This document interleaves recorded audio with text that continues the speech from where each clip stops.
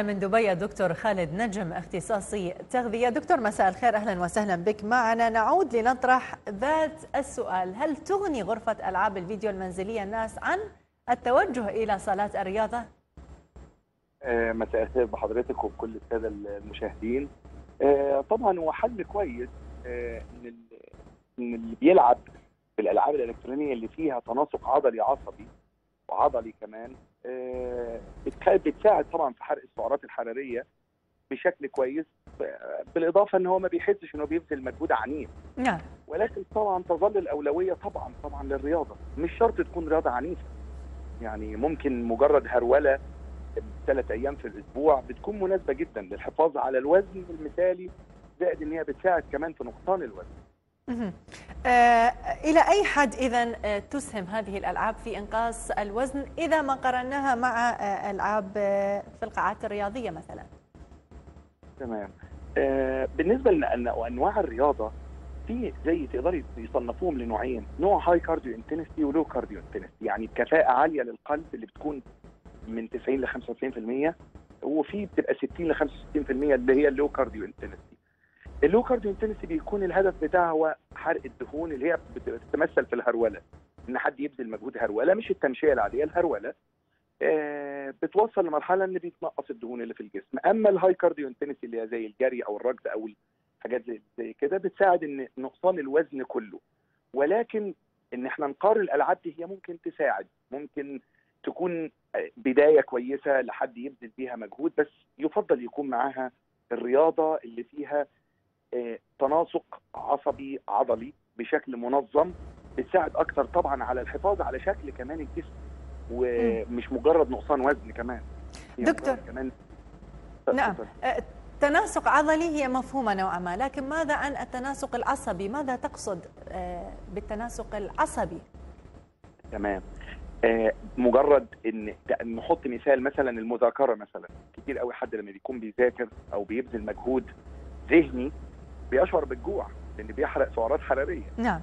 الألعاب الألعاب اللي مثلا يعني الألعاب اللي هي زي الفيديو جيم اللي في التقرير اللي عند حضرتك فيها تناسق عصبي آه عضلي. يعني معناه إن هو بيركز يحاول يعمل مثلا حركات معينة بخطوات معينة بشكل ما بحيث بيتحرك على أساسها. دي بتساعد أكتر طبعا مش مجرد ان مجهود بس.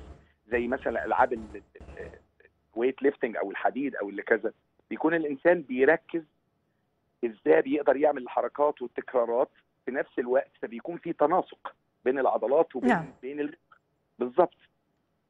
طيب دكتور هناك كثير من الناس تود أن آه، تخسر من وزنها وتحصل على جسم مثالي ذات تناسق عضلي تناسق عصبي لكن هي لا تحب ممارسة الرياضة سواء كانت هذه عبر ألعاب الفيديو أو في الص- الصالات الرياضية. ما نصيحتك لهم؟ كيف يمكن أن ينقصوا من آه، وزنهم بدون اللجوء إلى العمليات الجراحية؟ تمام. آه الاهتمام الأول لازم يكون بالأكل. الانتظام في الأكل. هنقول بشكل عام طبعا لأن كل واحد بيختلف بيختلف معاه مش شرط إن مثلا الدايت أو أنظمة الأكل بتنفع مع حد تنفع مع غيره لأن في عوامل كتير الجنس السن نوع الرياضة اللي بتبذل وهكذا. ولكن على الأقل الابتعاد عن الحاجات ال- المؤذية يعني. يعني الأكل المقلي قدر الإمكان تجنبه أو الإقلال منه. الخبز الأبيض الاستعاضة عنه بال- بالخبز الأسمر. نعم. الوجبه اللي فيها كربوهيدرات عالية تكون في وجبه الغداء ده للجزء على الأقل الاهتمام بجزء الأكل. الجزء الثاني اللي بيساعد جدا وبيسرع النتائج وبيخلي الناس تبقى راضية عن عن الموضوع هو إن يكون في رياضة مش شرط رياضة عنيفة أو ذهاب حتى للجيم. يعني ممكن مجرد ان ينزل من بيته بيركن السيارة بعيد ويحاول ان يتمشى مثلا مش أكتر من نص ساعة ثلاث أيام في الأسبوع بشكل الهرولة يعني. مش أكتر من كده. زائد الألعاب دي بالنسبة لل- للناس ممكن تضيف. نعم. ولكن لا نستطيع الاعتماد عليه اعتماد كلي يعني. اعتماد كلي مش مش هتوصل للوزن المطلوب أو ال- الوزن ال- أو الشكل المثالي اللي الإنسان بيتمناه يعني. نعم. دكتور هناك من يتبع كل آه، النقاط اللي ذكرتها حضرتك مثلا آه، يبتعد عن الأكل المقلي يأكل أكل صحي يمارس الرياضة بشكل قليل خلال اليوم لكن آه، في نهاية الشهر أو في نهاية الأشهر هو لا يفقد وزن متوقعة مثلا. هل فعلا ما يقال أنه هناك من الأشخاص حرق الدهون عندهم بطيء؟ هل هذا الشيء صحيح؟ تمام. هو في الميزك بيتابوليك ريت اللي هو المسؤول عن ال... إن الإنسان معدل حرقه لمجرد انه يكون قايم من النوم من غير أي مجهود. في ناس معدلها بيكون منخفض حقيقة. بيقدر يرفعه بوجود رياضة بوجود رياضة خفيفة. طبعا بتعد بت- بتعدل ال- المعدل ده بتخليه أسرع. ولكن حضرتك قلتي إن في ناس بتبذل كل الأمور دي والابتعاد عن الأكل اللي بيتخن وبيعملوا الأمور ولكن ما بيستفدش في آخر نهاية الشهر نعم. ما بيلاقيش نتيجة. ممكن يكون أكله فيه مخللات في مية عالية الصوديوم فبيكون عنده احتباس سوائل فبيلاقي نفسه ميزان ما بينقصش ولكنه هو فعلا ممكن. خسر دهون ولكنه كسب في مية زيادة في جسمه احتباس.